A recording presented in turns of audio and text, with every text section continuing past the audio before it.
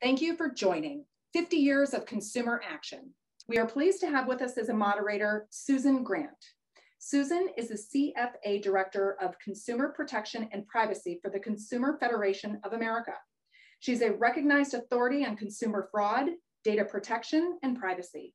She focuses on identity theft, online safety, security and privacy issues, and telemarketing, electronic and mobile commerce, deceptive marketing, fraud, airline passenger rights, and general consumer protection issues. She also serves on the steering committee of the Transatlantic Consumer Dialogue, a policy forum for US and European consumer organizations. Please welcome Susan Grant. I'd like to welcome everybody to Consumer Action's Changemakers convening. I'm Susan Grant, Director of Consumer Protection and Privacy at the Consumer Federation of America, and I will moderate today's 90 minute convening. In honor of Consumer Action's 50th anniversary, we will examine some of the key consumer protection gains in the last 50 years.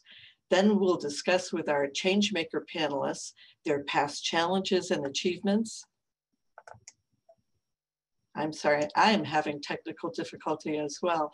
Uh, in the areas of housing, credit, healthcare, and privacy protection, and their biggest priorities for the future.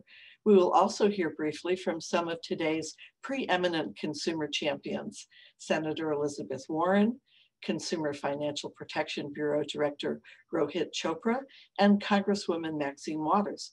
But first, Michelle Singletary, the award winning personal finance columnist from the Washington Post, will kick off the convening with a look at some of the most influential changes in consumer financial protection over the last 50 years. Hi, thank you so much. I'm so honored to be able to talk to you about such a wonderful organization. You know, I'd like to start with a story about the power of being informed. In 2003, the Fair and Accurate Credit Transaction Transaction Act gave all consumers the right to an annual credit report from each company who maintains your credit records. Armed with information about our stellar credit history, my husband and I went into a car dealership to purchase a car. When we got to the part of the negotiations about paying for the vehicle, the salesman asked us if we wanted to use dealer financing. The salesman didn't know, however, that we had already lined up our financing with our credit union for a great low rate. But given what I do for a living, writing about personal finance, I humored him Sure, I said, we would love to see what you would offer in the way of financing. He went back into some room, as they always do. When he returned, he offered us an interest rate that was twice the interest rate that was approved by our credit union. So, you know, I'm getting a little salty now. And I said, Well, that rate seems awfully high. Uh, trying to control my anger, and then he says to me, Well, it could be that you have some issues in your credit report. Now, those are fighting words for me right there. All my bills paid on time, all the time. Uh, so, my husband, watching this scene, because he usually lets me do the negotiations, um, he, he could see that I was getting salty, and he put his arm around my chest just to sort of hold me back because he knew I was about to lunge across that desk and smack that man. We have credit scores in the 800s and no other debt other than our mortgage. We knew we qualified for the best rates based on our credit history. Had we not known, however, how great our credit history was and how high our credit scores were, we might have taken that man at his word. We would have paid too much for the financing. Now, this was a time where you didn't have access to credit scores. And so when we applied for a credit score at the credit union, we asked them to give us our credit scores so we would have that information. It's not something that they gave to us, we had to ask for it. But nonetheless, we know from class action lawsuits over the years that there is a two-tier pricing system for auto loans um, that it that penalizes blacks and Hispanics. It is a common practice for dealerships to mark up interest rates on car loans whenever possible, no matter the prospective buyer's race or, for that matter, their credit history. But expert research has found that white buyers aren't targeted as often, and when they are, the markups are not as high as the markups for minorities. In 2015, the credit, uh, the Consumer Financial Protection Bureau reported that more than 50 million consumers now have free and regular access to their credit uh, scores through their monthly uh, credit card statements online or online. This type of access would not have been made possible if not for organizations like Consumer Action. The moral of my story consumer laws, along with consumer action, works. In 1962, President John F. Kennedy delivered a written message to Congress on protecting consumers. And Kennedy said, and this is me, I'm quoting him consumers, by definition, include all of us. They are the largest economic group in the economy, affecting and affected by almost every public and private economic decision.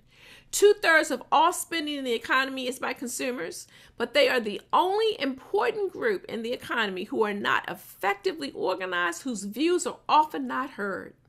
The federal government, by nature, the highest spokesman for all the people, has a special obligation to be alert to the consumer's needs and to advance the consumer's interests. Even if, ever since legislation has been enacted in 1872 to protect consumers from frauds involving the use of U.S. mail, the Congress and executive branch have increasingly been aware of their responsibility to make certain that, na- that the nation's economy fairly and accurately serves consumers' interests. This is Kennedy talking. Kennedy went on to say, if consumers are offered inferior products, if practices, if prices are exorbitant, if drugs are unsafe or worthless, if the consumer is unable to choose on an informed basis, then his dollar is wasted, his health and safety may be threatened, and the national interest suffers. He, he, female or male consumers, that is, right? I'd like to briefly highlight 50 years, five decades of consumer protection.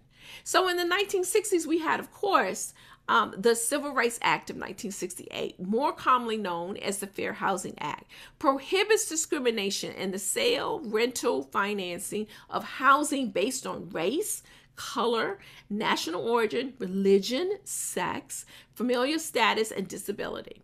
Passed in 1968, the Truth in Lending Act protects you against inaccurate and unfair billing and credit practices. It requires lenders to provide you with loan cost information so that you can comparison shop for certain types of loans.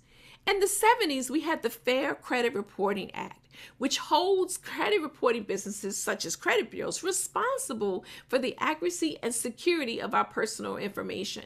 This law helps to ensure the privacy of the information in Consumer Credit Bureau files. The law regulates the way credit reporting agencies can collect, access, use, and share the data they collect in your credit reports. Passed in 1974 was the Equal Credit Opportunity Act, which prohibits discrimination on the basis of race, color, religion, national origin, sex, marital status, age, and receipt of public assistance. The purpose of this law was to give individuals an equal opportunity to obtain loans and other types of credit from financial institutions and other lenders. Effective in 1978 was the Fair Debt Collection Practices Act which was the, designed to eliminate abusive, deceptive, and unfair debt collection practices. And this is such an important law because just because you're a debtor does not mean that you don't have rights. You don't have the right, or credit uh, collection agencies don't have the right to lie to you. In 1980s, there was the Financial Institutions Reform, Recovery, and Enforcement Act which was enacted in the wake of the savings and loan crisis of 1980s. And one major change brought about because of this legislation was regulations to ensure that the real estate appraisals that we get are performed adequately. In the 1990s, we had the Financial Services Modernization Act and as the Federal Trade Commission explains, this law requires financial institutions, companies that offer consumers financial products or services like loans, financial or investment advice, or insurance to explain their information sharing practices to their consumers and to safeguard their sensitive data. And we know there's some issues in that still. And the 2000s passed in 2010 was the most important Dodd Frank Wall Street Reform and Consumer Protection Act, which was enacted in response to the devastating financial crisis of 2008. The law restricts the ways banks can invest and limited speculative trading. One of the most important things that came out of as a result of Dodd-Frank was the Consumer Financial Protection Bureau, a much needed watchdog agency charged with preventing predatory mortgage lending. For 50 years, Consumer Action has been around as a watchdog for all of these protections. I'd like to circle back to what President Kennedy said about consumers. And again, this is him talking. Their voice is not always as loudly heard in Washington as the voices of smaller, better organized groups, nor is their point of view always defined and presented. But under our economic as well as political form of democracy, we share an obligation to protect the common interest in every decision we make. Consumer action is the voice for those who can't speak for themselves, whose voices might not otherwise be heard. Here's to many more decades to, to an organization whose mission is to speak up and speak out for consumers. Thank you. Thank you for highlighting some of the gains that have been made for consumers in the last five decades, Michelle. Consumer Action has been actively involved in this work, and I know that it will continue to fight for fairness in the marketplace. But it's not a fight that Consumer Action or any one organization can wage alone. We're fortunate that there are so many great groups working to advance consumers' interests in housing, credit, healthcare, privacy, and other issues. Now I'd like to introduce our Changemakers panel of experts whose work in housing, credit, healthcare, and privacy make a difference in people's lives. I'm joined by Nikitra Bailey, Senior Vice President at the National Fair Housing Alliance, Graciela Aponte, oops, there I go again. Graciela Aponte Diaz, Director of Federal Campaigns for the Center for Responsible Lending, Frederick Isasi, Executive Director of the Healthcare Advocacy Organization Families USA, and Caitriona Fitzgerald, Deputy Director of the Electronic Privacy Information Center. Welcome to you all. Their bios are in the program for this convening, which you'll find in the chat box. The Q&A box is where you'll post your questions for panelists, and we'll get to as many eh, of them as possible toward the end of the convening. Since this is a celebration of consumer advocacy in the past as well as in the future, I've asked each of these advocates to look at their past work and give us an example of a major issue they dealt with. Did they succeed in reaching their goals? And what were the main reasons for that success? Or if they encountered too many obstacles to achieve what they wanted, what were those obstacles and what lessons did they take away from that experience? So let's start with Nikitra in the area of housing. Nikitra, how would you answer that question? Congratulations, Consumer Action. Um, 50 years is remarkable, and we appreciate being your ally and your partner in this important work. So, I will start with answering the question by focusing on um, a little bit about what Michelle talked about, and then I'll get to my answer. I just can't resist the fact that she mentioned our nation's fair lending laws. As you know, NAFA is a national civil rights organization with a 30 year track record of being at the forefront of working to eliminate all forms of housing discrimination and ensuring that every community is well resourced with opportunities and amenities for people to thrive. And our nation's fair lending laws have been a way that we've been able to do that. Um, when you think about the remarkable advancements of the Fair Housing Act of 1968 and the Equal Protection the Equal Credit Opportunity Act of 1974, we've seen significant advancements in housing as a result of these just historic civil rights legislations to really open up opportunity for more Americans. housing is so central to opportunity in our country. So the fact that our fair lending laws actually made housing more fair for more Americans is something that's incredible. And the Fair Housing Act's affirmatively furthering fair housing mandate is something that's really remarkable because what it does is it allows for us to, with intentionality, create integrated communities. So to undo previous residential segregation and to create communities of opportunity for all Americans. So I couldn't resist the opportunity. And then my my main point today is the Dodd-Frank Wall Street Reform and Consumer Protection Act. Um, I had the good privilege of working on that in my former position. And what's remarkable about the Dodd Frank Wall Street Reform and Consumer Protection Act as it relates to housing, particularly, is that it stopped a lot of the predatory mortgage lending that we saw targeted at families of color. We know that leading into the Great Recession, families of color were disproportionately targeted with dangerous and risky mortgage products even when they qualified for loans on safer and more affordable terms. And as a result, Black and Latino communities lost a trillion dollars of wealth from those dangerous and risky loans that led to disproportionate levels of foreclosure in our communities. So the Dodd-Frank Wall Street Reform and Consumer Protection Act is something that is just remarkable in the sense that it really cleaned up the mortgage market and it made mortgage lending safer for consumers, but also for lenders themselves. And today we have have really a more safer uh, mortgage market and we have an opportunity to do more to make sure we are ensuring credit access for all communities. So I'll wait for my next round of remarks to talk about those. Well, thank you very much, Nikitra. That certainly was landmark legislation, and congratulations to you and everybody else who uh, who worked on that. Let's turn now to Graciela. What triumph or challenge in regard to credit would you like to highlight from the past?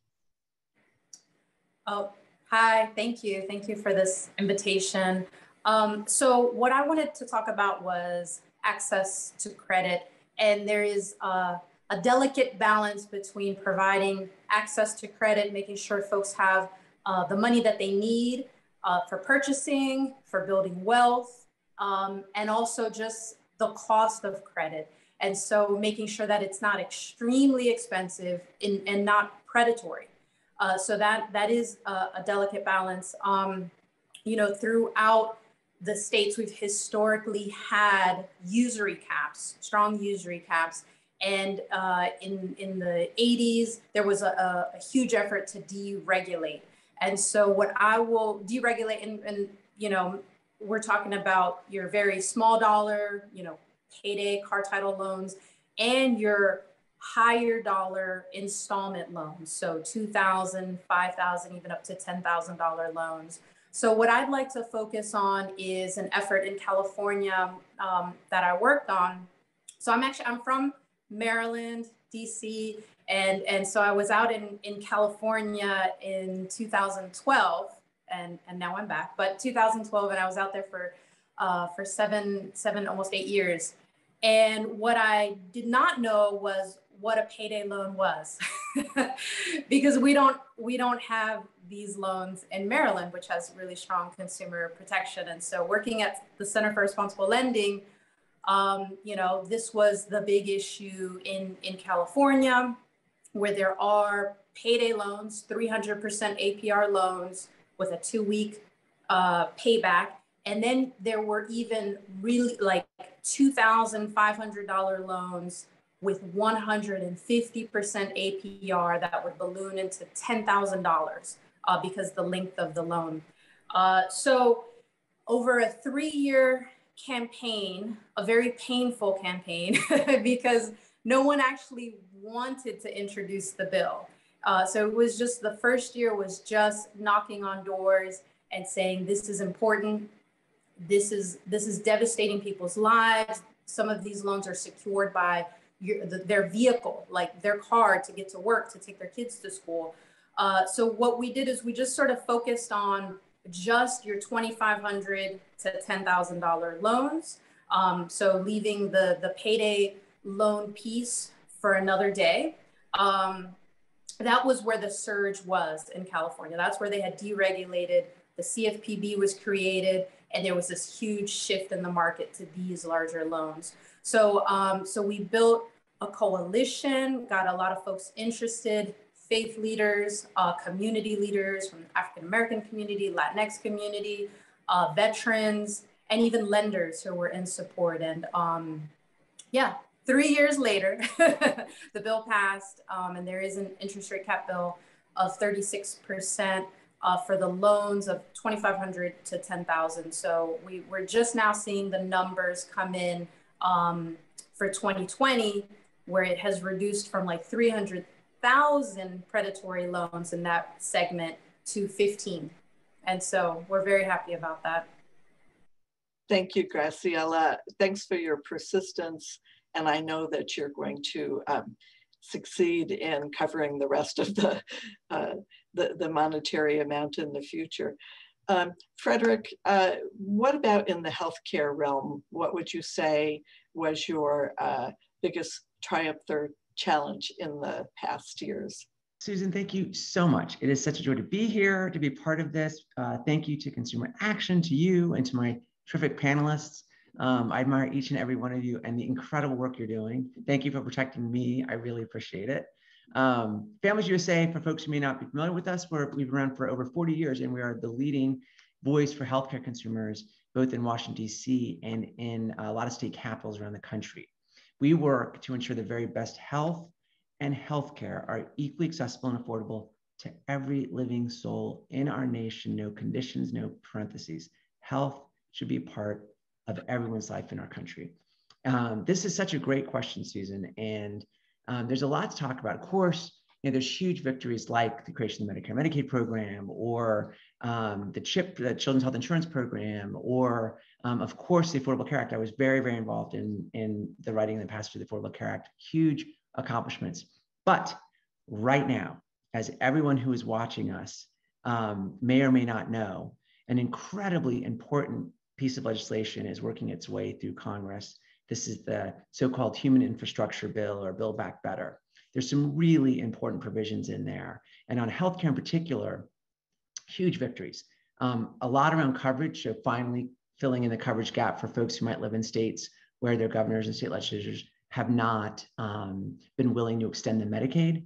Humongous, really important issue, making coverage in the health insurance marketplaces, people who are buying private coverage for themselves, less expensive, more protections for their uh, for the amount of money they have to spend to get good, high quality healthcare. These are all really important. But the one I want to highlight for sure is that we are finally making ground on taking on taking on the terrible abuses of drug makers and drug companies against the American consumer. We are finally making some ground here in this legislation. Um, we actually have the ability for the government to finally get in there and negotiate fair drug prices on behalf of the American consumer. This was hard fought. Uh, folks may may uh, may or may not know this, but last week when the when the uh, final deal was announced, this wasn't in the package, despite the fact that the chairman of the Committee of Jurisdiction in the Senate, the chairman of the Committee of Jurisdiction in the House, the president, and the Speaker of the House had all take leadership positions to champion this legislation. It wasn't in the deal. We raised our voices. We fought tooth and nail and it's in. And people should be so proud of that.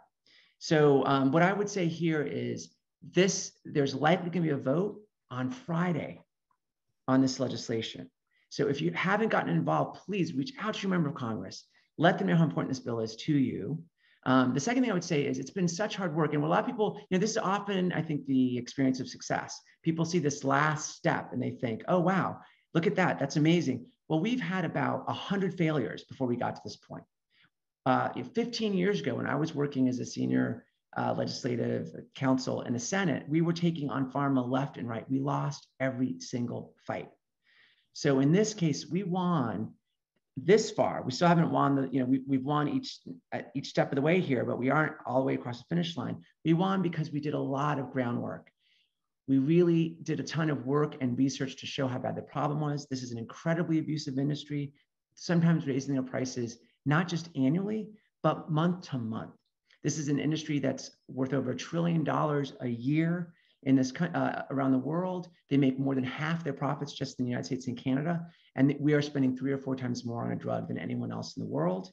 And often, the most important point, really, I think, is that what we've seen in the last five or six years is that the entire industry has reoriented itself to try to abuse their market distortions and peg drugs at uh, the catastrophic level in Medicare instead of finding those drugs that are going to save our lives and make us healthy. So it's a really good example of an industry that is flush with money, is leveraging the distortions in law to make money, but aren't serving the interests of consumers. You know, we and and this is wildly popular. About 90% of Americans across the country agree with this. Democrats, Republicans, it doesn't matter what party you belong to. We are fed up with the prices we're paying for drugs. We know that we should be getting a better deal. And so this is happening right now as we speak. Uh, and I really hope everybody out there who's hearing my voice will get involved, call the member of Congress and say, you, uh, we need to pass Build Back Better immediately. We need to invest in our nation's families and uh, in fair drug prices. Thank you, Frederick. And uh, it's great that you brought up such a recent example, building on all the work that you've done before. And um, here's hoping that it actually goes through. Caitriona, what stands out for you in the past in terms of uh, privacy? Yeah, thank you, Susan. Uh, you know, I'll just first note that I've learned so much from you as an advocate, as well as from Ruth and Linda, Consumer Action. So I feel so fortunate to work with you all, and I'm so grateful to Consumer Action for 50 years of protecting consumers. Um, so EPIC is focused on protecting privacy, freedom of expression, and democratic values in the information age. And we haven't quite been around 50 years, but we've been around for 27, which for an organization focused on internet privacy is basically like being around since the beginning of time. Uh, we've seen a lot since 1994 when it comes to consumer privacy online, but I'll focus on one uh, particular experience for this, for this exercise. Back in 2009, a couple of engineers launched WhatsApp. And within seven years, the app had 1 billion users worldwide. It was pretty popular. Uh, WhatsApp was committed to privacy. It, they completely rejected in app advertising. They did not collect or store user data, period. Uh, you know, in 2012, one of the founders took to their blog and explained their anti-advertising stance, and they warned users that when advertising is involved, you, the user, are the product, uh, which we know all too well now. Um, so WhatsApp was a great privacy protective app. But then, oh, but then in 2014, Facebook announced that it was purchasing WhatsApp for $19 billion. Um, so Epic used the tools at our disposal, you know, ones we'd used in the past. We, along with the Center for Digital Democracy, sent a very detailed complaint to the Federal Trade Commission in an attempt to block Facebook's acquisition of WhatsApp. And we explained that WhatsApp had built its user base based on its commitment not to collect consumer data for advertising revenue. Uh, now those users are going to be, you know, automatically ported over to, to Facebook. Um, you know, unfortunately, ultimately the FTC approved the Facebook WhatsApp merger after the companies promised not to change WhatsApp's user privacy settings. And to the surprise of no one, except I guess the FTC, two years later, Facebook announced that it would acquire the personal information of WhatsApp users. So we filed another complaint with the FTC, and the FTC did nothing. Now, six years later, the FTC does want to go back and unwind the merger. Uh, you know, it's filed a lawsuit to do so, but doesn't unfortunately seem like the courts are going to let that move forward. So, you know, yes, unfortunately, in the case of WhatsApp and you know similar problematic mergers, so far we've run into too many obstacles to achieve what we wanted. You know, namely, the U.S. does not have a federal privacy law, so there's very few rules of the road that Facebook had to follow as it swallowed up privacy protective apps like WhatsApp. Nor do we have a government agency focused on privacy and data protection that may have been better able to enforce the restrictions and promises that were made around the Facebook WhatsApp merger when it came to personal data. Uh, but on the bright side, you know, we've seen some great bills proposed in Congress in the last couple of years uh, you know, they would go a long way towards changing the harmful business practices in the technology sector. Uh, the Online Privacy Act from Reps Eshoo and Lofgren, the Data Act proposed by Senator Sherrod Brown, um, COPRA proposed by Senator Cantwell, Data Protection Act by Senator Gillibrand. These are all examples of really good privacy bills that include many of the provisions advocates like EPIC and Consumer Action and CFA have been pushing for for a long time. And the Build Back Better Act that Frederick was discussing it also it includes uh, 500 million to create a dedicated privacy bureau at the FTC, which is not quite the dedicated agency we want and think we need, but it's a big step in the right direction. It would go a long way. So um, you know, we're going to keep doing what we're doing and what consumer action has been doing for 50 years. We're going to keep pushing Congress to protect consumers. Thank you, Caitriona. It certainly wasn't for lack of trying on your part and everybody else's. And uh, we will persist and I think we will ultimately prevail. So thanks for sharing that example. And now let's hear some inspiring remarks.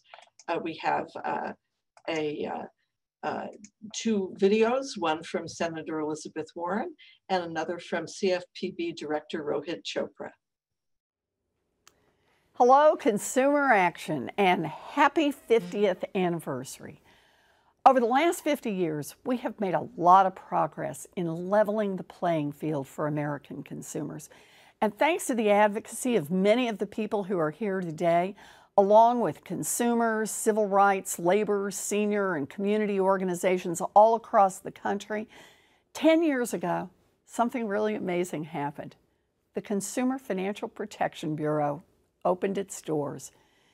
Now, very few people in Washington thought it was possible ever to have such an agency. Even after the worst financial crisis in generations, people were skeptical that we could overcome the full force of the banking lobby and their friends in Congress, and that we could actually create an agency that would work on behalf of working families. But we did it. And look at what that little agency has done in just 10 short years. It's forced the banks and financial institutions to return nearly $13 billion directly to people they cheated. It's fielded more than 2.3 million consumer complaints. It's put in place common sense protections for American service members and vets. And the part we can never quite measure is that over the past decade, millions of people have not been cheated, all because some financial outfit with a sleazy idea looked around and realized there's a watchdog ready to bite. The creation of the CFPB teaches us that we can make government work, not just for the wealthy and well connected, but we can make it work for everyone. So, from the bottom of my heart, Thank you for being a part of this. Keep up the great work and happy 50th birthday, Consumer Action. The law creating the CFPB's consumer complaint system was a critical reform. People all across the country use the system to get real help and an actual response from financial companies. In many cases, it's led to big refunds and real change since enforcers across the country can use it to spot trends and stop systemic abuses. I want to thank Consumer Action for all of its work to make it a success. Thank you, Director Chopra and Senator Warren. I'd like to note that Consumer Action has led the charge to ensure that the CFPB's complaint database a vital resource for consumers, advocates, researchers, and others, provides full information about the financial service problems that consumers report. So the second question I pose to our Changemaker panelists is forward-looking. What are the most important issues for you now and that you expect to deal with in the future? What do you hope will be achieved? And what must be done by consumer advocates, government, and the public to help get us there. Uh, let's start with housing. Nikitra. a once in a generation opportunity. I'm so grateful Frederick brought up the Build Back Better Act. I'm just going to go straight to it. We have a once in a generation opportunity to really rectify our nation's history and legacy of housing discrimination. We know that for much of our country's history, homeownership has been the way that we've built and established a stable middle class. And we have to be honest about that. In the doing of those homeownership policies, we implemented them in a way that were not fair and equitable. So we implemented them in a manner where most of the benefits went to white families and most of the burdens went to Black, Latinos, Native Americans, Asian Pacific Asian American and Pacific Islanders, and others. So our communities were in many ways left behind by our nation's housing investments. So we used an intentionality to really create a sustainable white middle class And we now have this opportunity to use the same type of intentionality to really expand opportunity for more Americans through housing policy and to really strengthen and grow the economy for everyone. So some of the things that I wanna really lift up is this provision in the Build Back Better Act which we are extremely excited about, which is the first generation down payment assistance in the bill. The bill currently has $10 billion for first generation down payment assistance. Now we all know about first, you know, time home buyer programs. So what's different with first generation down payment? This funding is for families who have been burdened by previous federal housing policies because their families were not able to use homeownership to really build up the kind of wealth that white families have been able to build up. We know that because whites had access to homeownership earlier, they have today five times the wealth of Latinos and eight times the wealth of African Americans. And because of that, there's an ability to pass forward down payment assistance to the next generation of home buyers. Well, for Black and Latino families and other families of color, that's not possible. This first generation down payment assistance helps us to make sure that those communities that prior federal housing practices left behind actually have the resources that they need to be able to purchase a home. Because one of the biggest barriers today to purchasing a home is the inability to come up with a down payment. We've seen data from different organizations that show that saving for a down payment, especially in high cost markets, could take some people upwards of 30 years. So if you don't have that prior advantage of having access to that opportunity, you have a longer time and you are at a position where you're pushed outside of the market marketplace as opposed to being an active participant in the marketplace. So we can use this targeted down payment assistance to really grow and expand opportunity for nearly 5 million new home buyers. We know that of the 5 million new home buyers, that 1.7 million of them are Black, 1.32 million are Latino, and that 1.4 million are white. So this is a program that allows for us to look at our country's history of exclusion and to create targeted solutions to bring in the very communities that we that we left behind.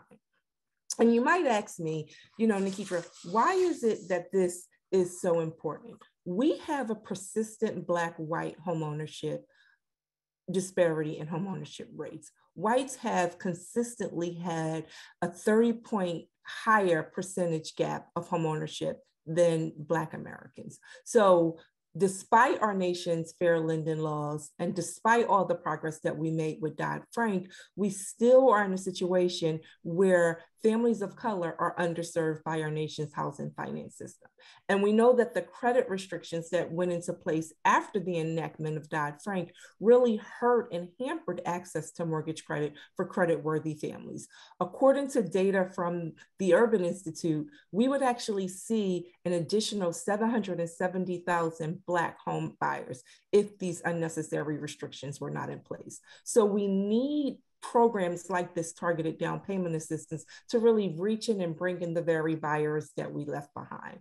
And another reason why it's really critically important is because we know that homeownership and the wealth that it creates are the foundation of the solidness of our, our nation's middle class. It would take Black Americans an additional 228 years to catch up to the wealth disparity with whites. And I just want us to just ponder what that means. Our nation's federal policies, policies that my grandparents paid for that excluded them have hurt them in a position that we're so far behind that it would take upwards of 228 years for us to catch up in wealth because of these unequal investments. So now we have a chance to really look at these millennials who are mortgage ready. Data from Freddie Mac and the Urban Institute shows us that there are millions of mortgage ready Black and Latino consumers who are prepared to jump into the homeownership market and to really um, benefit benefit from the, the, the, healthy benefits of homeownership and to really have an opportunity to have the type of economic stability that we can remove the burdens of past discrimination. And we're extremely excited about the Build Back Better Act's provision because it adopts Chairwoman Maxine Waters' Down Payment Toward Equity Act, which is this grand investment, you know, to take this initial first step to really try to address these historic and ongoing homeownership disparities that not only hurt Black and Latino communities, but that actually hold back the whole economy. We know from data that over the last 16 years that our economy has suffered immensely because of discrimination.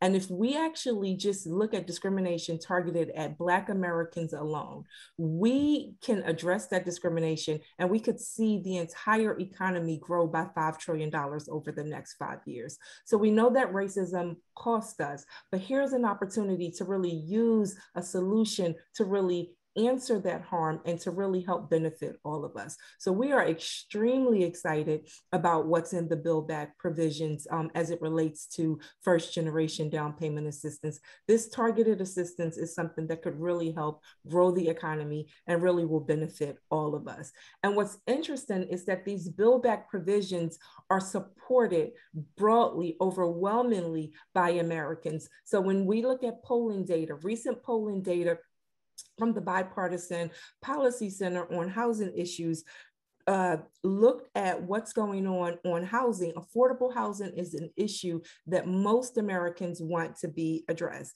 And according to a poll by the Bipartisan Policy Center and the Morning Consult, the the, the poll shows that most Americans, including a majority of Republicans, independents, and Democrats, support significant funding for housing issues included in public housing repairs, tax credits to develop and renovate homes in distressed communities, down payment assistance for first generation home buyers, and voters want you know action now because there's not a city or a town in our nation where you know a person that's making minimum wage can actually afford to have a two bedroom uh, rental apartment in an affordable way. So we're all experiencing this, this really um, challenging issue around housing affordability in our nation. So we have this opportunity where the Biden administration and the Congress can take really bold action.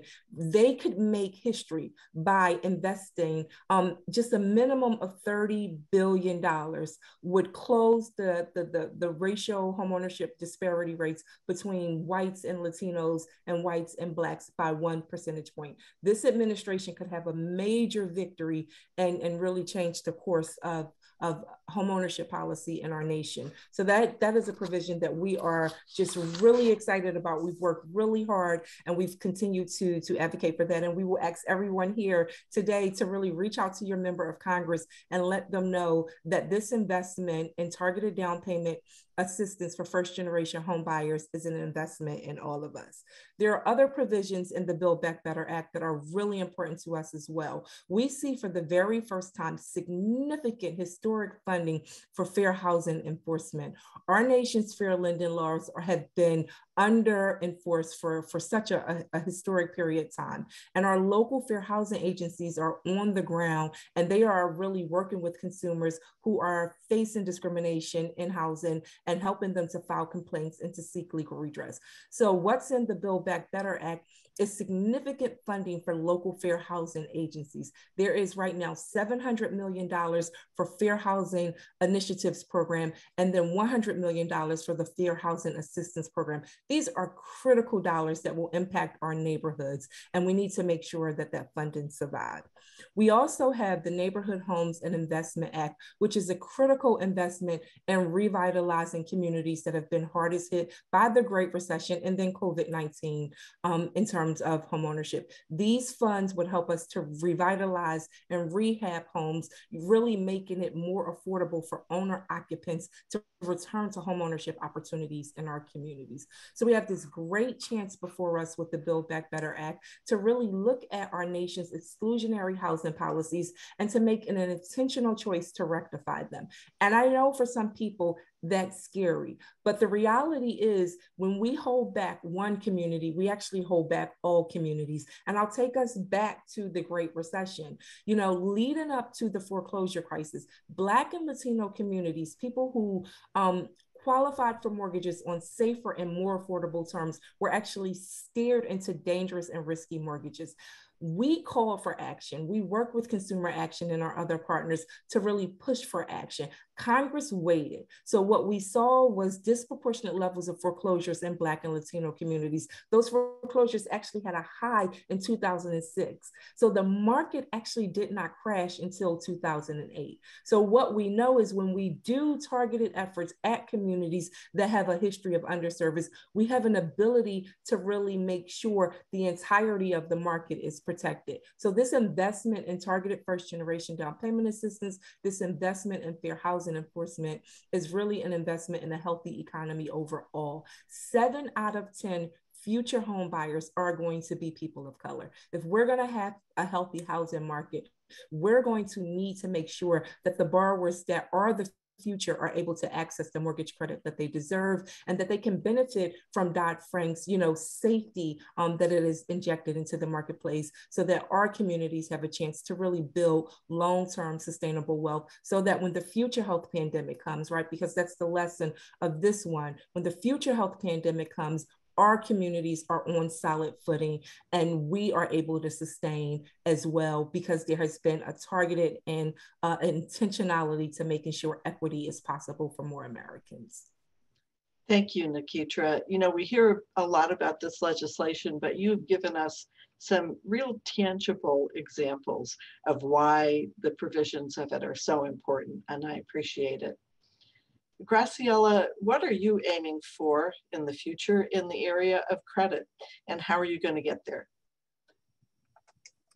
Awesome. Thank you. Thank you so much. Um, so, you know, as I had mentioned before, there were various state efforts, one to deregulate and, and now uh, again to, to come back and have some strong interest rate caps through ballot initiatives and, and state bills.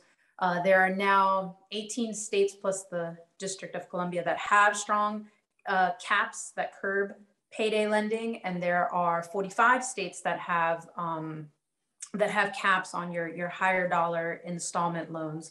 And I know my my subject area is access to credit on this panel, right? And I think I had mentioned this this balance of you know making sure that you know we're working toward making credit available, but curbing your predatory lending. And so I, I, I use this example a lot of, you know, my, my mom is from Maryland, you know, single mom, low income, who living in another state would have likely been targeted with a predatory loan. However, she wasn't. And she knew about the nonprofits to go to and how to get assistance from churches and things like that. And she now, I'm going to take the credit, but has like an 800 or so credit score. um, she's a homeowner.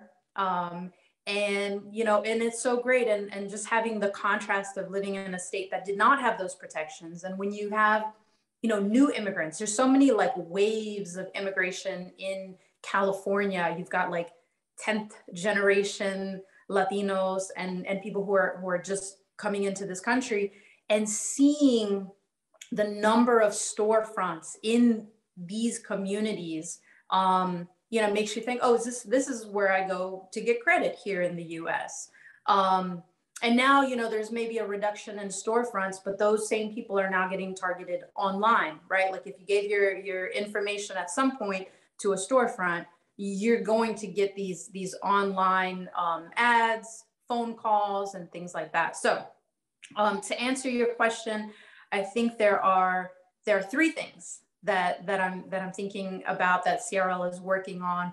One being uh, the the CFPB's payday rule.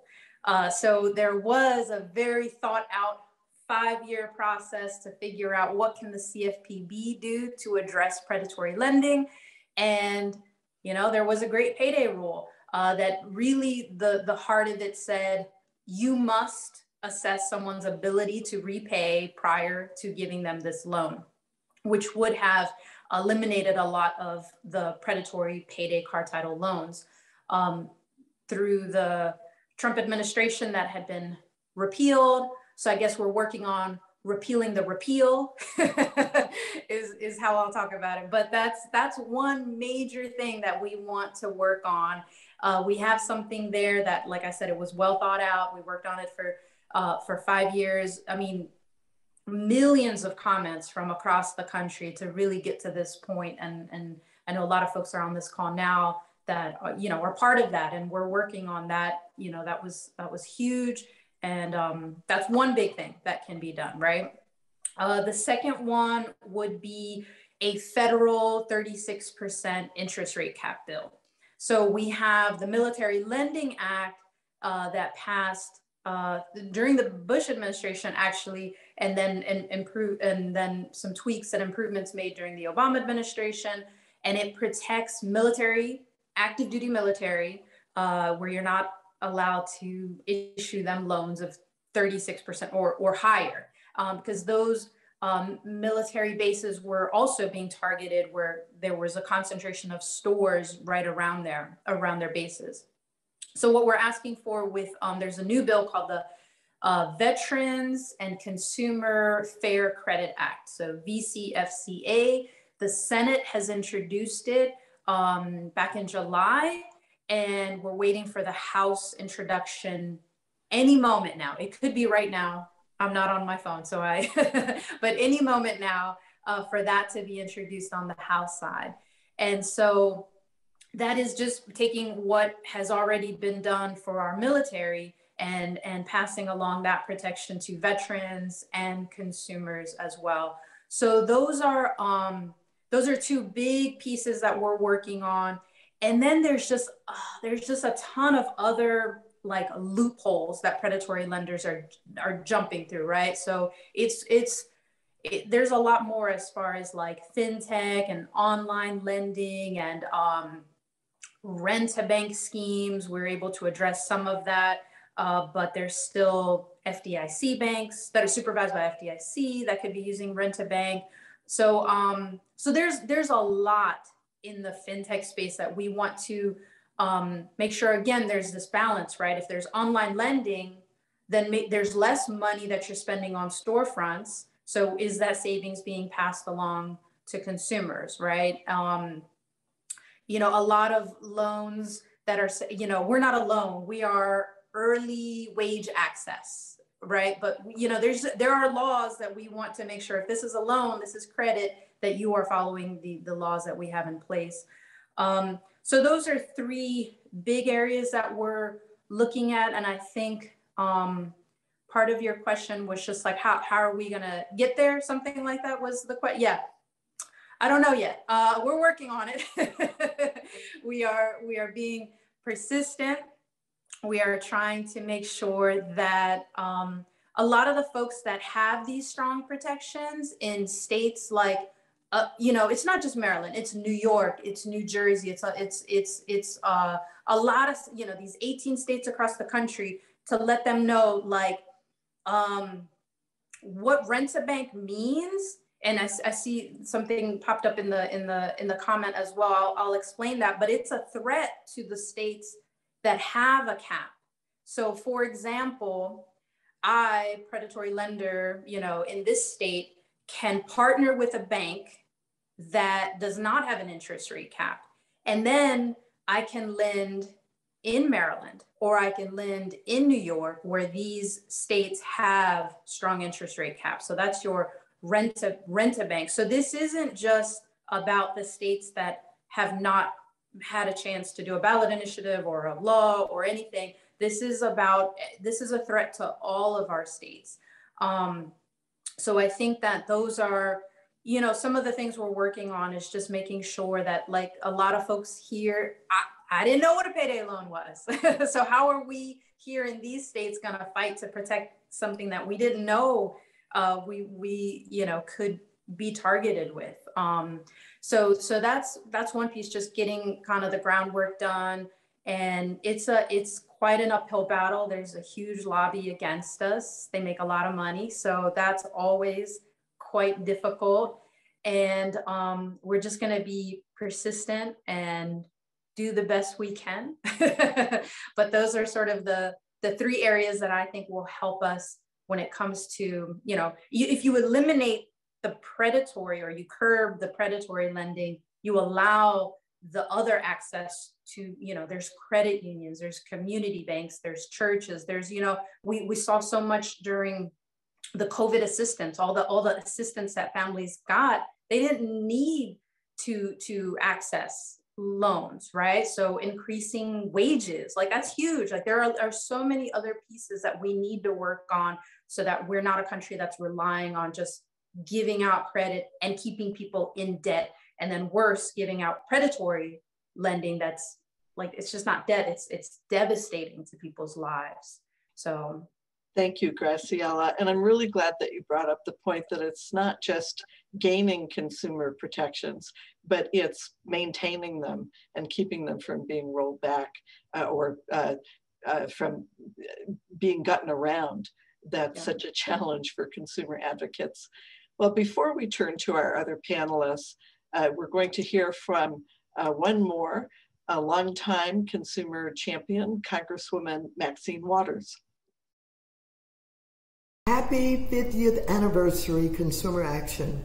I'm so delighted to take part in this momentous occasion with each and every one of you. We have come a long way in protecting consumers over the past 50 years.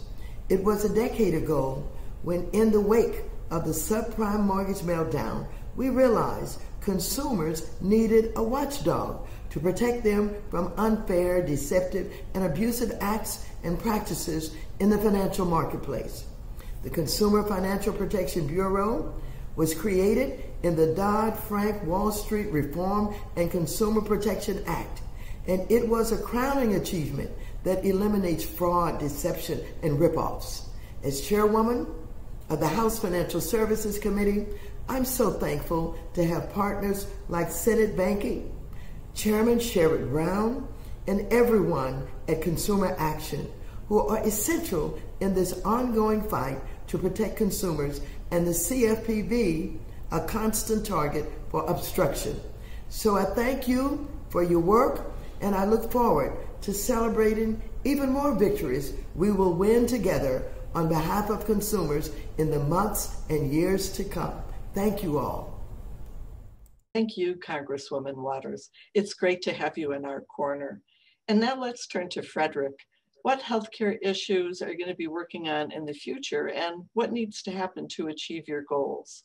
Thank you so much, Susan. Um, terrific question. And I do want to say again, it's so great to hear. I mean, I hope everybody on the who's participating today can hear the amount of opportunity that is resting in Build Back Better across so many important issues. I mean, this really is historic legislation. From a healthcare perspective, it's one of the most important bills we could, we could pass in history of the nation. Um, it's really important. So I hope folks out there are engaged and involved. Now, um, turning to, let's say, the near term, not the next month or two months, but then, you know, let's say the next year to a few years, at Families USA, we're very clear about where the healthcare movement needs to go, how we can really ensure that our health doesn't depend on our wealth, that every living soul in our nation can live their healthiest life possible. It's so important. It's foundational.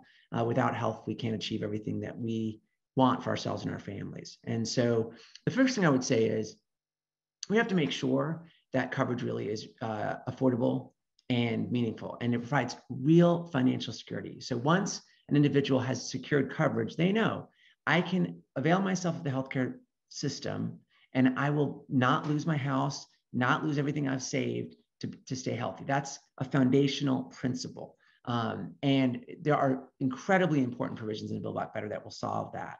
So I think that's our best chance right now to really make uh, incredible progress on that. Um, the second thing is that we have to make sure that our nation is much more thoughtful about the way in which our healthcare resources are utilized. We spend more than any other nation in the country, two or three times more in many instances, per person on healthcare, trillions upon trillions of dollars. Our prices are much, much higher than the rest of the world. Our outcomes are much lower. Our moms and babies die at faster rates. Um, there's so much progress we need to make on the value of the healthcare that we receive and the way we're spending the dollars. And so a very big focus at families is on that.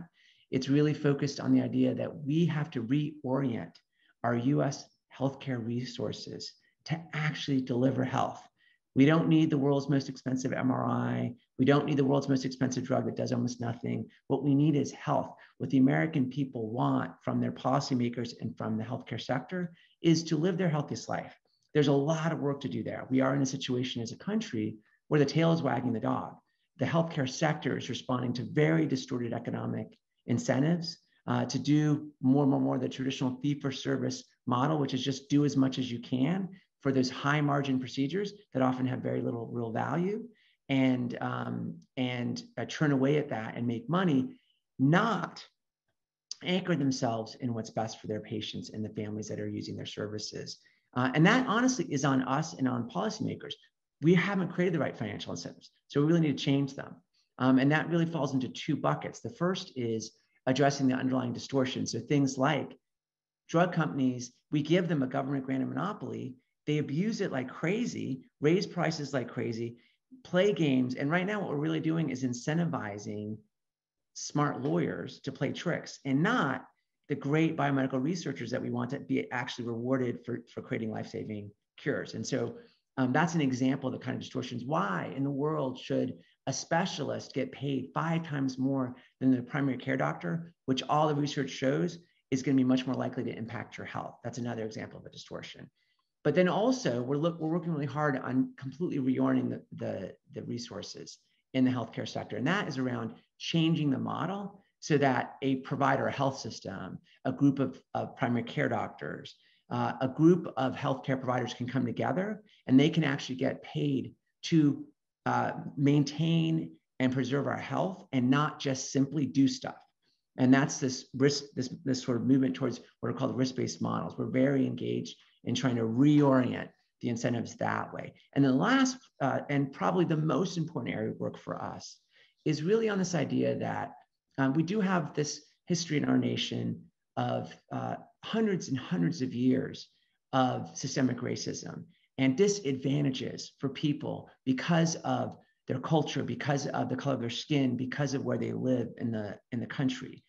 That is a major impediment to ensuring every single person in our country has access to the best health possible. And so a lot of our work is also focused on how do we drive equity into our healthcare sector? How do we ensure that your zip code doesn't define your health? The, the color of your skin doesn't define your health, that every single person gets a fair chance to live their healthiest life. And we're doing a lot of work on that as well. Thank you so much, Frederick. I love the phrase, your health shouldn't depend on your wealth. okay, so uh, next I'm going to turn to Caitriona. I know there are lots of things you'd like to accomplish in the future in the in the realm of privacy. Uh, what are some of them, and um, how do you think that it might be possible to actually get there?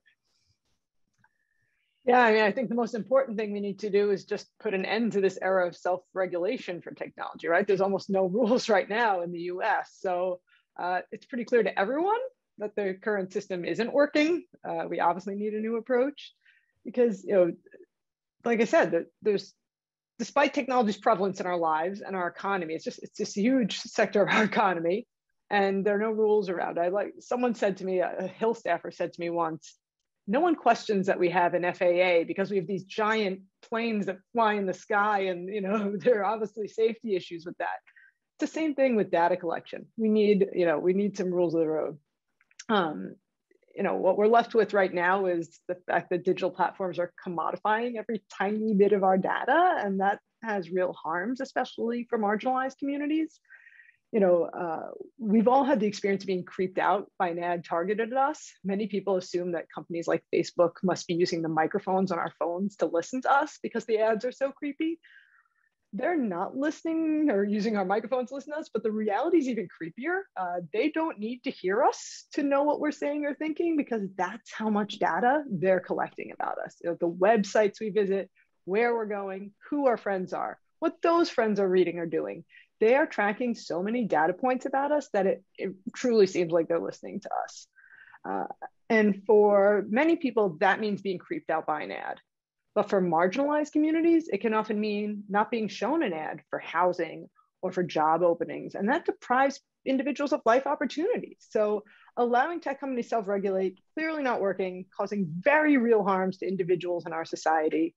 Uh, so what you know, advocates, we as advocates have to push Congress to do, and what the public should be pushing Congress to do is to enact a strong, comprehensive privacy law and create a dedicated agency to deal with these issues, a data protection agency. Um, so when we think about what needs to be in a privacy law, right, privacy laws need to limit the amount of data companies can collect about us. It's not enough to say uh, a company has to tell me what they're collecting about me. That doesn't that doesn't help. That just still lets them do everything and just and just tell me which you know, if I you know asked Google what they had about me, I can't imagine what I'd get back. Uh, so it, it's, it's time to limit what companies can collect about us. Privacy legislation also has to protect against discriminatory uses of data. It has to extend civil rights protections online. Uh, it has to require algorithmic fairness and accountability. You know, the use of a lot of us heard this during the whistleblower, the Facebook whistleblower hearings, right? The use of algorithms and artificial intelligence is really the next wave of technology that advocates have to worry about. Um, you know, we, we just shouldn't let it grow unregulated the way we have with data collection. Let's get ahead of it now before it's, you know, so big it's it gets harder to regulate. Um, you need to think about dark patterns, right? Dark patterns are are these processes, you know, that are designed to manipulate individuals into making choices that are in the business interest rather than your own. I'm sure you've all encountered them if you've tried to cancel a subscription. You know, you have to hit seven buttons in order to cancel. But if you want to stay on, there's a really convenient big button to do that. Um, we, we can't have uh, take it or leave it terms, you know, or, or pay for privacy uh, provisions, which discriminate against those with less means. Privacy shouldn't be something just for, you know, those that could afford to buy it. That you know, it needs to be something that's available to everyone. Uh, a federal privacy law also has to allow states to pass stronger laws. This is a big issue in Congress. Um, you know, the industry wants Congress to pass one weak law in their their preference uh, and not allow states to pass stronger laws. But technology just changes too fast. That's not possible. I mean, if you know it's 2021 and Congress hasn't passed a law, we don't want to be stuck with whatever law they pass for for very long. Uh, you know, we, we need states to be able to act and privacy laws just have to have strong enforcement. You know, if a law doesn't have teeth, we end up with situations like the WhatsApp issue I spoke about earlier. Um, so we need to allow individuals to have private right of action so they can, you know, bring a lawsuit to protect their rights. And we also need, like I said, an independent data protection agency dedicated to privacy, data protection, you know, oversight, enforcement, just deal with all these emerging privacy challenges. You know, they'd be an agency would be able to look under the hood at big tech companies, uh, regulate and oversee these, you know, high risk data practices like consumer scoring or, you know, the use of AI and biometric data, and would have experts in the, you know, in this complicated field. Um, right now, the FTC's authority is really kind of backward looking. It's they're stuck with what's called unfair and deceptive acts and practices. So something has to happen before they can act. You know, say, you know, the, the Cambridge Analytica situation with Facebook, um, they went back and issued a fine based on what happened. But if we had a data protection agency, we could give that agency the ability to, you know, regulate high risk data practices and stop those privacy harms before they happen and allow technologies to innovate around privacy, you know, encourage innovation around privacy. So you know, I think just given the enormity of the challenge, we really need that data protection agency to complement a strong federal privacy law. And you know, we'll, we'll keep pushing Congress to do both. And I'm just so thankful to have consumer action beside me in this fight. And I hope that the next time they have a change makers convening, we can cite the creation of a DPA as one of our successes. I hope so. Thank you, Caitriona. Uh, really, um, all of you have described things that need to be done that uh, uh, should be nonpartisan. Um, everybody should want their constituents to live in safe, affordable housing, um, not to be ripped off by payday lenders, um, to have good health, um, and to be free of uh, the kind of surveillance that uh, Caitriona described. Uh, and uh, working together, I'm sure that we can achieve these goals. So uh, now is the time for audience questions and don't put them in the chat, please. but put them in the Q&A box, which you'll see on the bottom bar of the screen. And we'll try to get to as many of those as possible. And I should get there to see uh, what questions there are. There's no questions yet, um, but please um, uh, provide some. And in the meantime, um, I'm going to see if there are questions from elsewhere that uh, we can pull up that would be useful to ask. Okay, here's one. Oh, hold on. Technical difficulties.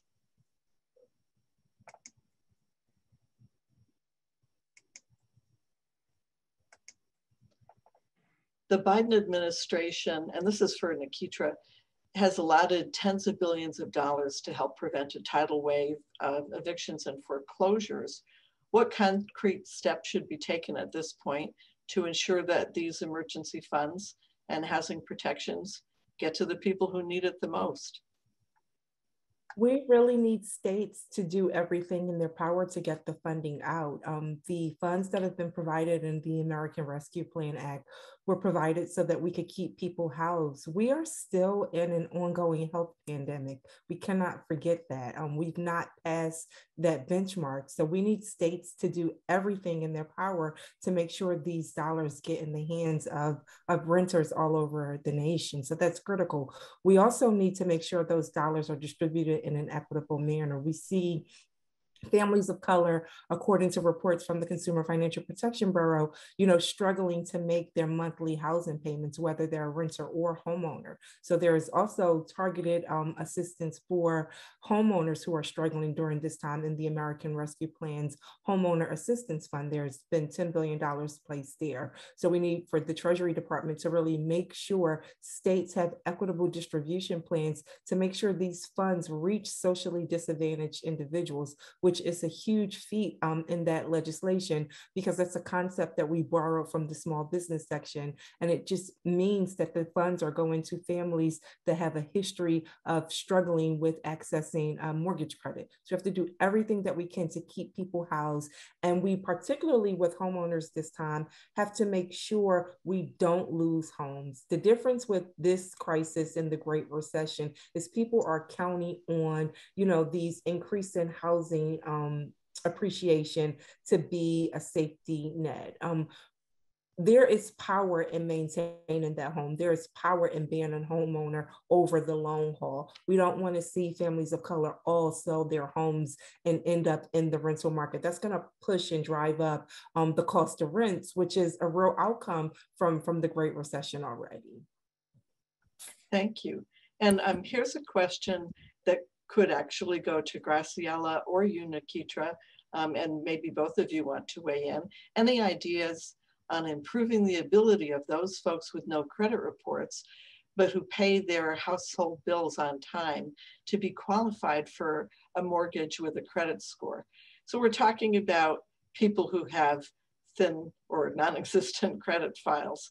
Um, what can be done to help them uh, qualify for credit and whether it's mortgages or other kinds of credit? Sure, I can I can start. Um, so you know, I, I was previously a housing counselor, and so dealt with many families who were in that situation. And there's forms of um, what's called non-traditional credit, where you can put together a package for a lender to show that, right? Like I've got daycare costs, and here's 12 here's 12 months of payments, on time payments. Um, you know, here is my uh, my utility bills and things like that. And so that there there is a form to do. There's a way to do that. It does become you know time consuming, and lenders don't often like to do it. But I, I would be a little hesitant to to say let's include that in a credit report because there's so many uh, assistance programs when people fall behind on utility bills. And so, you know, I, I don't know, I don't have a, a magic answer to that except to say, to my knowledge, you can, you know, advocate for ex- the acceptance of non-traditional credit and, um, and, and working with a housing counselor. Thank you. Nikitra, did you have anything to add? Yeah, I would I would ditto Graciela's point. Um, I think we definitely need to think about alternative forms of, of credit. And I just want to lift up that just um, I guess late summer, Fannie Mae announced that it was actually going to start allowing um, the use of rental payment history um, for the mortgages um, that you know that they buy and guarantee. So there are innovative things happening in the marketplace um, so that we can make sure um, people have an opportunity to have a fair evaluation we want to make sure though that as they're doing that people aren't being penalized and that they're not paying a premium because they're using that rental payment history. Um, we, we know that so many people have, you know, quality um, credit profiles and in the current systems that we use to, to really monitor credit, we have to be careful that they're not baking in discrimination and holding out um, families who have a history of underservice. Thank you. Um, Frederick, I'm going to give you the first bite of this, but really this is a question for everybody. So others, please feel free to jump in. How can public interest leaders, like those on today's panel, help get more young people, especially those from diverse backgrounds, interested in working on the kinds of issues that you all work on and that consumer action has championed for 50 years. In other words, what steps can organizations like yours take to create the next generation of change makers? Susan, what a great question. And uh, to be honest, I don't know if my other panelists feel this way, but boy, I'm ready for them to take over. it's, been a, it's been a long fight. Um, you know, it's a it's a really deep question, and one that I think a lot of folks in our space are really thinking about. How do we make sure that uh, we're bringing the next generation in, and that we have really diverse sets of uh, points of view and experiences in helping to inform the movement. At families, we take this super seriously. I think first and foremost, you know, we uh, one of the things we really take a lot of pride in and, and really uh, see as one of our primary missions is to serve in a translational role. Uh, health you know, policy, legislation, regulations, administrative action, it can be incredibly dry and boring um, when you're in the middle of it, when you're reading through the regulations, when you're fighting through the specific details. But the impact, the ways in which those actions can change lives is so deep and so profound. So I think our first and most important role is to tr- is serve as translators to explain to folks that there is we have the power, for example, to ensure. I, I mean, the most popular thing in the Affordable Care Act, you can't be discriminated by an insurance company if you've been sick before for a pre-existing condition, right? That's an incredibly powerful concept that the entire country rallied around, right? But it was also an incredibly boring piece of legislative text, right? So we have to serve that translational. Second, it's really important to understand that people's frustration with our uh, policymaking system is a frustration with our Constitution and with the way the framers of our country set up the system. We have a system that is built on the concept of consensus. That can be incredibly frustrating to young people in particular who are watching the unfair world don't are not particularly interested in being patient and want to see change now. And I think that's another really important transitional piece. We spend a lot of time thinking about how do we nurture, encourage, foster that energy, but then help them understand the way to channel that into real change. And I think that one of the things that concerns me a lot right now is um, we're living in an environment where there's so much um, of our society that's being pitted one against the other. Um, and you know, we know there's a lot of, of, of, research and reports coming out that part of this is is you know the politicalization of everything and how hyper um, tribal our politics have become. But also part of it is that we have, for the first time ever in our society, uh, algorithms that are using machine learning to activate our deepest, most tribal elements of our brain, our reptilian brains, to see each other as other, right? And what worries me a lot with some of the young folks that are in the movement right now is that that tribalism permeates in. And the, the, the, one of the deepest powers of our consumer movement is that we are not talking about just the needs of uh, a person living in Mississippi or a person living in New York or a person living in California. Each and every issue that's been addressed is an issue that we all hold and have. And when we see these issues as issues that relate to all of us, we win. When we get divided, when it becomes an issue for Republicans or for Democrats or for people of color or for gay people or for straight people, what you end up in is a place where the division stops us from succeeding. And status quo is very good for a lot of people. A lot of businesses out there really want status quo. So we have to be careful to make sure that as the movement evolves, as we hand these reins off to other people, we don't let the interests that want status quo to keep us divided, that we unify and we make sure everyone understands every family in this country wants to know that their children can be healthy. Every family in this country should be able to get a house and, and afford, uh, go through the, the process of financing a house when they need to, right? Every person should, uh, should have protections from a bank being able to just charge them an outrageous interest rate. And every person's data should be protected. These are core principles that every family, and so we have to make sure we stay in that unified place because that's where the power is. You know, it was a really deep question, and you gave a really deep answer, Frederick. I really appreciate it. And I'm going to move on because we have a privacy question for Caitriona. Regarding privacy, how do we avoid the twin killers of multiple exemptions slash vague definitions that allow companies to barely change what they do right now, parentheses, the service provider carve outs, for example, which undermine the newest California initiative? And two, what about preemption? How can we avoid that? Wow, someone's really getting into the weeds there on privacy. Um, but I'll try to keep it fairly high level because you, you know, Susan, we could go on and on about these exemptions.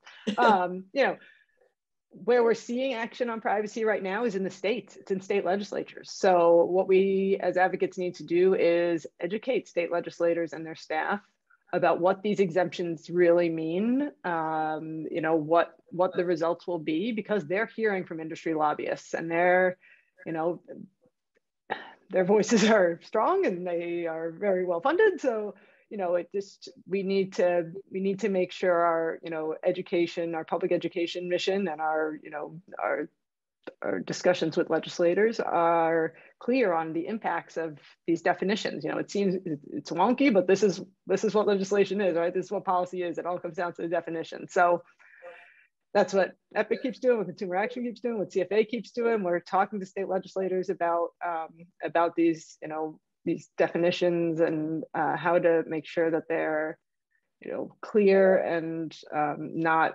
leaving these gaping holes that technology companies could drive a truck through.